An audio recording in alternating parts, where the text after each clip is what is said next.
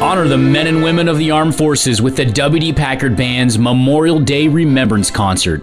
Enjoy the sounds of freedom on Sunday, May 25th at 3 p.m. For more info on free events, visit WDPackardBand.com.